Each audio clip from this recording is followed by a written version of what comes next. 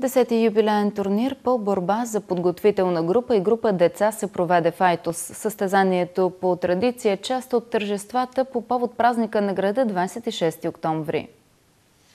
Близо 170 деца от общо 11 отбора взеха участие на турнира по борба в Айтос. Градът има традиции в този спорт и състезанието привлича участници не само от региона, но и от цялата страна.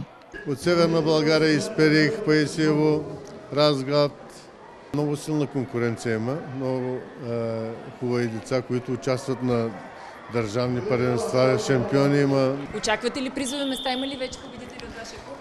Имаме, да, имаме, очакваме медали днеска.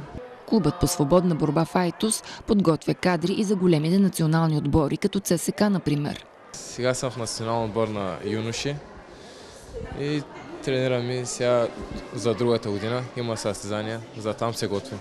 Естествено, на всеки един борец мечтата е да стигне до най-горното стъпало, да стане олимпийски шампион. И нашата мечта е такава.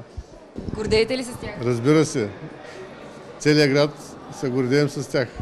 Борбата е един от спортовете, с които много се гордеем и които много успешно се развиват в нашата община, заяви кметът на Айтос Васил Едрев. Имаме състезатели в националния отбор, които участват на Европейското първенство последното.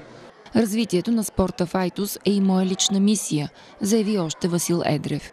Първият ден, когато съм седнал на стола, така ще кажа, че аз съм бил малко спортист, съм положил всякакви усилия, за да мога да изкарам децата да тренират по стадиони, спортни площадки, зали.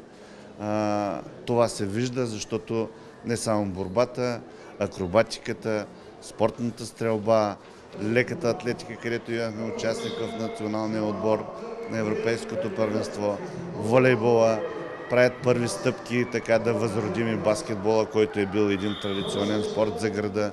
Мисля, че успяваме, тъй като и залите, и стадионите, и спортните площадки са пълни, а и успехите са добри.